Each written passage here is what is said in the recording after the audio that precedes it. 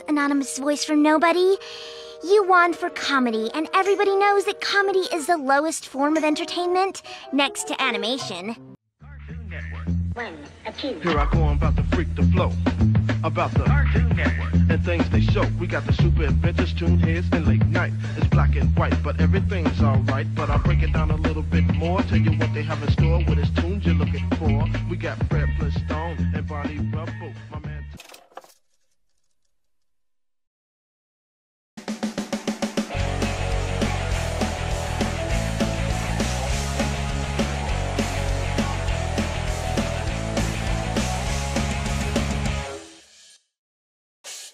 Creative, unique, and packed with imagination. These are the cartoons that live outside the industry. Shows that might never get made the normal way, but through pure effort exist in spite of it. Join me today as I go through the good, the weird, and just plain craziest of the bunch. This will be part of an ongoing series where I show you that indie animation rocks.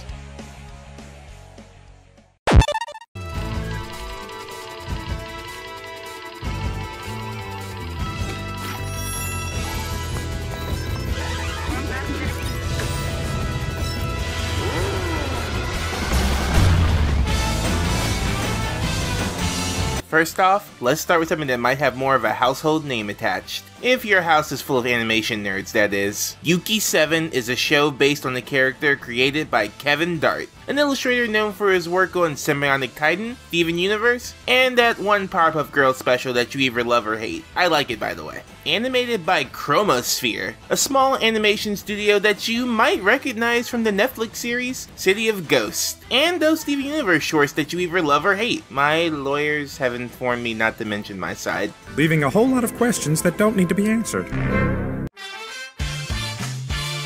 Yuki 7 is a spy thriller focused on Yuki, the leader of her misfit team of agents. Besides her, you also have Rocket Turtle, a bumbling robot that means well, but is usually the cause of a lot of trouble, and Dr. Goldpaws, who besides from being the bestest boy, is a kitty with a genius level intellect. I was in love with this thing from the moment I saw it. Retro 70s style visuals with one of the slickest art styles I've ever seen in animation. Forget turning this into a full series, I want to see this on the big screen. The story is really cool too. A classic spy thriller with a current of mystery underneath. Yuki doesn't know where her missions come from, or where the other agents went, or even what the device she's trying to get does.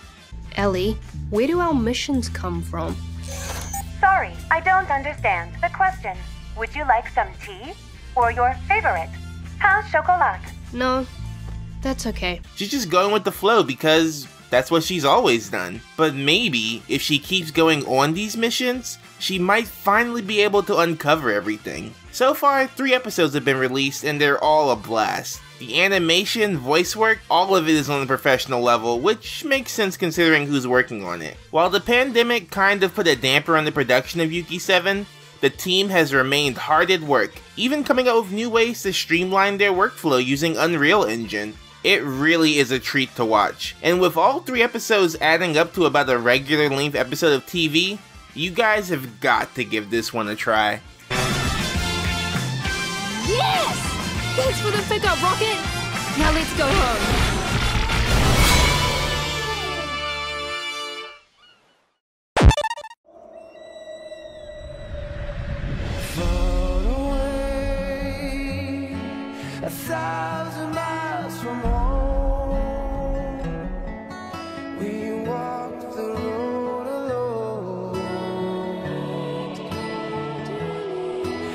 Yeah, now this is one I've been following for almost a decade. Tales of Alethrion is a fantasy series created by Mikael Maines and Kenneth Logiker. The best way I could describe it is that it's like Adventure Time with tits.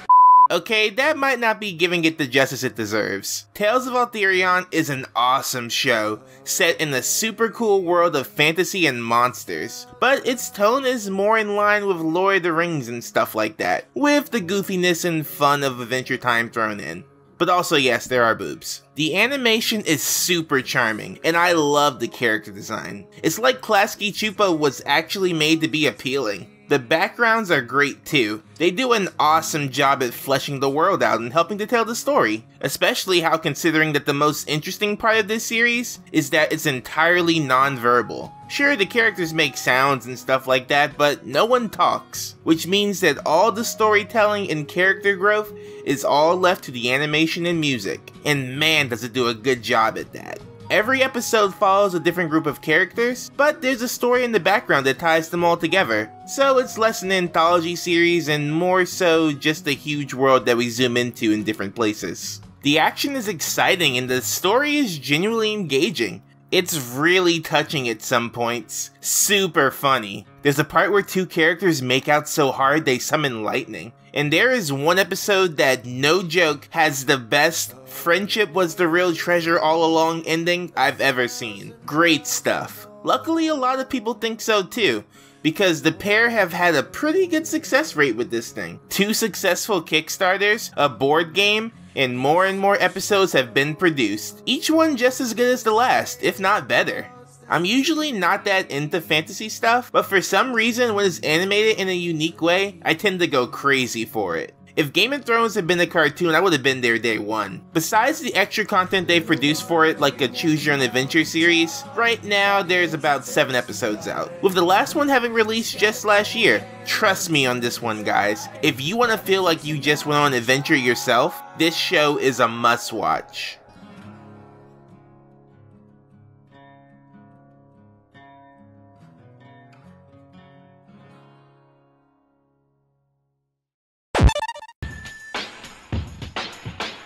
Okay. Play ball. Oh, wait, what? Wait, whoa, whoa, whoa. What? Alright, let's get weird. Dude, I don't even know how to describe this one. Okay, for those of you who were around before the internet became just like 10 different websites, people used to make their own websites all the time. Just all these weird little sites devoted to the stuff they were into.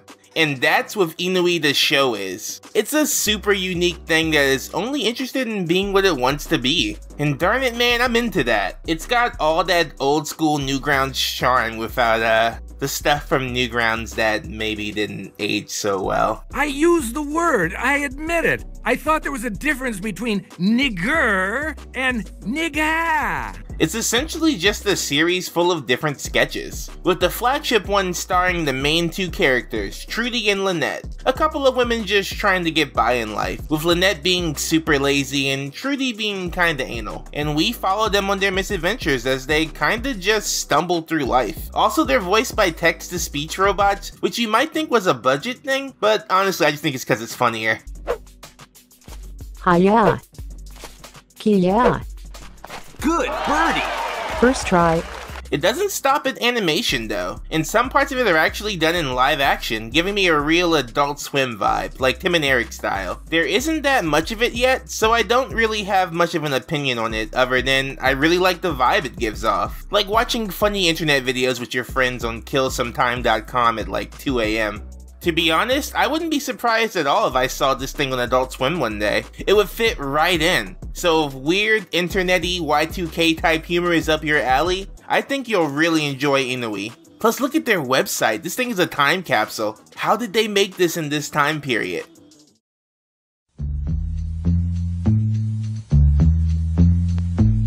Cartoon Network. All right, boys. Cartoon Network. One, a two.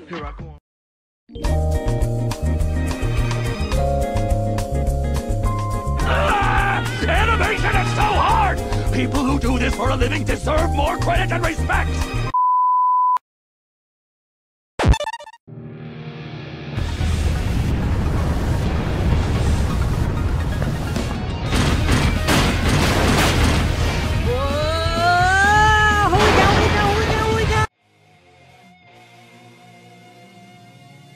This one is for all the old school weebs out there. If you miss waking up at 8am to watch stuff like Mew Mew Power and Beyblade, then Golden Panda is the thing for you. Created by Soap Studio, Golden Panda is one of those classic shows that I feel like 4Kids would have a field day with. While Soap Studio was mostly just a small toy design studio based in Korea, they have since expanded into making their own original animation. And to be honest, it just makes sense. Cartoons used to just be toy commercials, so if you're already doing one, you might as well do the other. It also makes sense because of how ridiculously marketable this show feels. But at least it has some cool style to back it up so it doesn't just feel like a plot to get your money. Golden Panda tells the story of three kids who happened upon three construction robots and used them to battle against evil robots. Doesn't get more simple than that. Classic shonen story of good versus evil. But the thing that really sets it apart is the look. Like I mentioned before, Soap was a toy company first, so all the robots have this great vinyl toy-like design.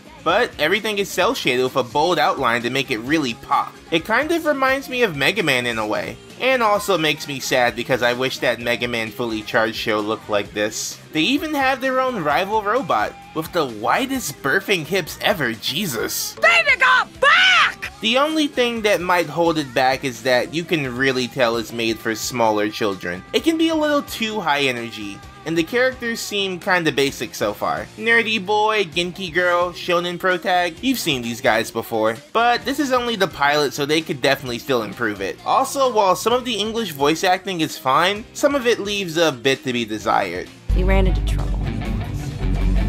I think they came from Dr. Doe's lab.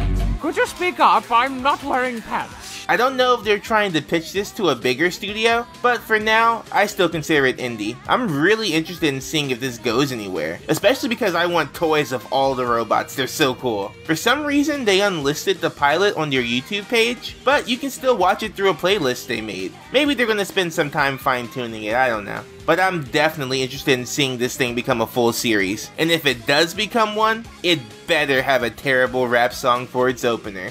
His name's Zolo, he's just like a samurai and a L-A-D-Y, Nami's not shy. You're under arrest, Russo. Men, swarm him.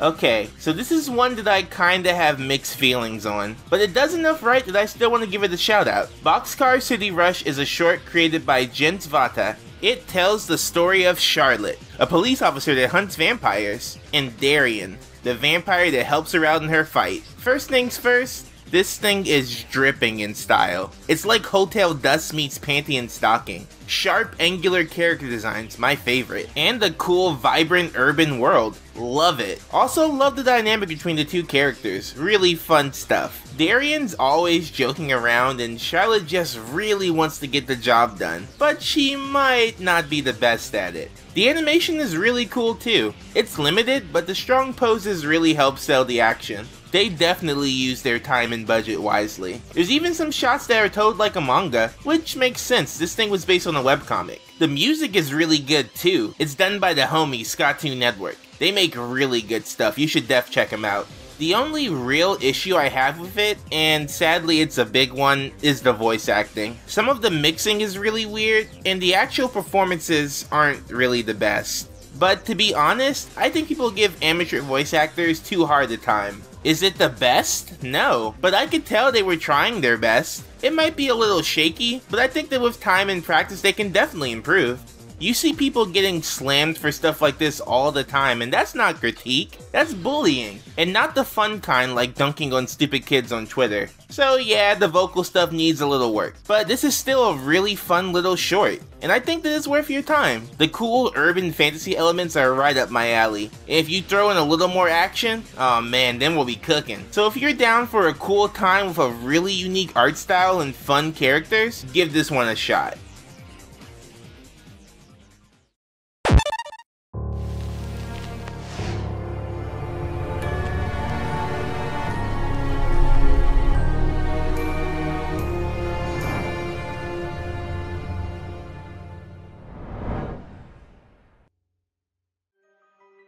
This one is so cool, especially because it panders incredibly hard to me. You guys know who I am, you guys know who I worship, and the Dark Harvest definitely leans into the 2000s cartoon style that is very inspired by the works of Genndy Tartakovsky and Scott Willis. Created by Brian V, who I've been following since the Tumblr days back when he was RoastedStix, The Dark Harvest is a show about a young woman who, after falling on hard times, takes up the job of being a Grim Reaper. First off, That's such a cool concept for a show. I've seen it done before, sure, but every time it's done, it's always done in a new and exciting way. This one is cool because it looks like the job actually runs in her family, or at least her adopted family, I'm not quite sure. But anyway, I'm in love with how this thing looks. Those bold, thick outlines, oh yeah, inject that into my veins. And those backgrounds are gorgeous as well. I love watching his speed paints. The dude has mastered the style that has eluded me for years. And while I am steaming with jealousy, I'm also super impressed so I will spare him. We get to follow Haley as she learns about ghosts, where to find them, and how to send them to the afterlife. And spoiler alert, some of them don't want to go so peacefully.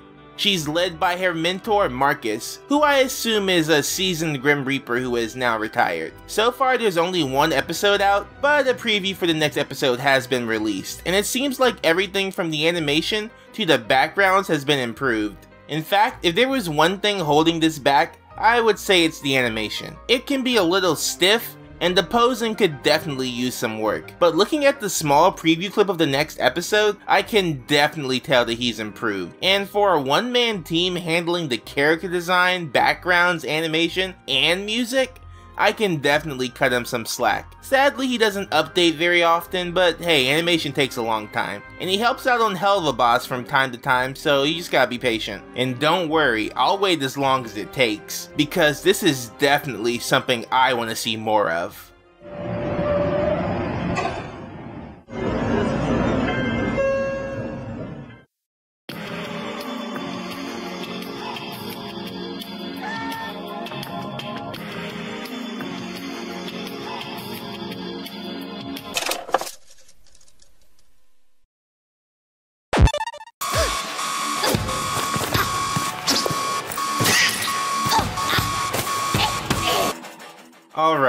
Here's a fun one. Do you like high-paced action? Bloody high-stakes battle? Adorable fuzzy plushes? Well then, you're exactly the right kind of sicko who would be into Bloody Bunny. And dude, I am too. First off, for this one, I'm not really sure if it could be counted as indie or not. The company that made it, T-Spot Communications, has done deals with like 7-Eleven and even the popular singer Ayumi Hamasaki. But like, I don't know, this thing feels indie to me. Plus I have more Twitter followers than them, so I'm gonna say it counts. While Bloody Bunny has a couple of different series, the one that I'm gonna focus on today is Bloody Bunny, The First Blood, seeing how that's both the most accessible one and the one with the most complete story. So, what is it? Bloody Bunny is the story of a world taken over by vicious plush animals. While escaping from one of their facilities, a young girl is captured and killed by them, only to have her soul put into the body of a plush, turning her into Bloody Bunny, a violent killing machine, and merchandisable character. now she fights against the evil plushes to protect her world and her sister, who has also been made into a plush. Now where do I start with this one man? It is pure adrenaline, almost non-stop action, just the way I like it. We follow Bunny as she hacks, slashes, and pummels every enemy that dares step into her path and it is a sight to behold. Super stylish animation is on full display here. The characters have this great cel-shaded look to them, and the colors just pop off the screen. Gorgeous stuff. I'd totally buy a toy of literally every character. And the action is well animated too. All the hits feel weighty and impactful. The music and sound effects really help to sell it. A big problem that I have with 3D action shows is that a lot of the action feels so unsatisfying, but all the camera movements and effects going off in this really helped add some oomph. It's the same reason I think the action works so well in the 2012 TMNT. That's the cutest fucking thing I've ever seen in my entire life.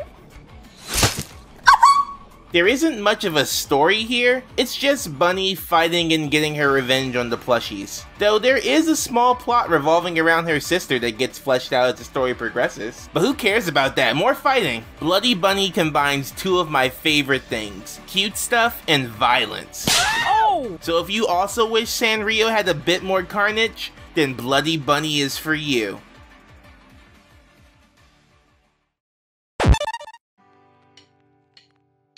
Okay, this one hits in a way that is right up my alley. Kero Kero Groove is a show that fills that void left behind by the cool urban experimental adult animation of the 2000s. Oh man, that was a mouthful. Stuff like Mission Hill and Downtown. The shows that just kinda hit different when you're drunk at 3am eating a burger and vibing with your boys. And man, they are committed to the bit. It's even uploaded at 480p. This thing feels like you're time traveling. It's even got really cool bumpers and fake commercials and stuff like that. Got me over here feeling envious. The animation is limited but expressive, and I love the use of simple 3D assets that they splice in with the 2D animation. And the two main characters are so fun. I would definitely watch a full series featuring them. Apparently their names are Chain and Karki? Sounds normal to me.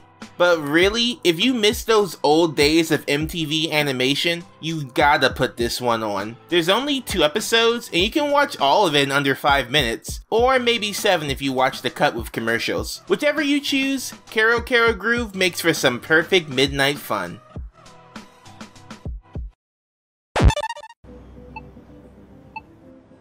When does the bus...